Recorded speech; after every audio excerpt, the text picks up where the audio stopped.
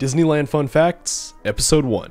Inside the Matterhorn Mountain at Disneyland, near the peak, there is actually a break room above the roller coaster with a half court basketball hoop, believe it or not. This area fits within the mountain as the mountain itself is 147 feet tall, but the roller coaster within only occupies the first 80. Rumor has it that the reason why this court was created in the first place was to be able to call the mountain a sports arena, which would have allowed the workers to build it as tall as they did. You see, the Matterhorn was actually the tallest building in all of Anaheim when it was first built, though this theory has been debunked by many.